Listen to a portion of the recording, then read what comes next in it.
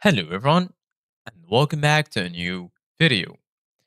In this video, I'm gonna show you guys how to upload the backup file in cPanel. So if you guys want to learn how to do it, just follow the steps that I'm gonna show you. As you can see guys, I'm right now in this website where I found a guide that perfectly explained how to upload a backup file with File Manager in cPanel. In this article, we will explain how to upload a backup file with File Manager in cPanel. Follow the steps. The first step is log into cPanel.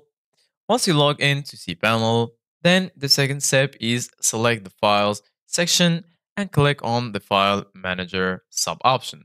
As you can see guys right here in the picture, once you're in File, click on File Manager. You're going to find it in the top left corner. Once you enter File Manager, click on the Upload button from the top of the screen. So as you can see guys right here, once you click on this uh, File Manager, you're going to be right here and go to the uh, top and you're going to find Upload option. Go ahead and click on it.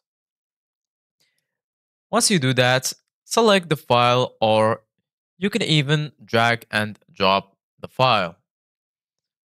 Next, to update existing files in your hosting with the uploaded ones, select the option to overwrite any files with the same name. So go ahead and click on overwrite right here and then click on select file. Once the file is successfully updated, right click on it and select extract.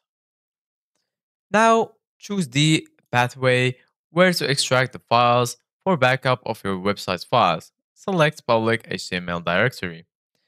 Click on the extract file button and lastly you will get the extraction result as shown below. So this is it guys for today's video. Thank you guys for watching. See you guys in the next video.